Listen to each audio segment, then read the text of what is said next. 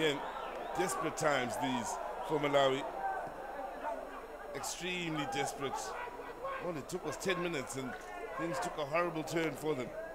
Here they are with the ball in then. Could be a chance still here and they, well, they pulled one back. They need more. Lovely call then uh, the uh, turn and shot to the near post.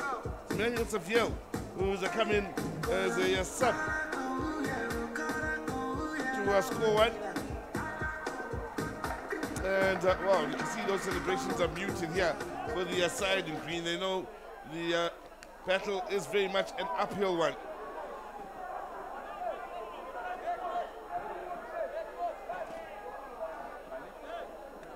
Oh, that's a beautifully taken goal. They'll be disappointed with their defending Namibia. Frustrated with themselves.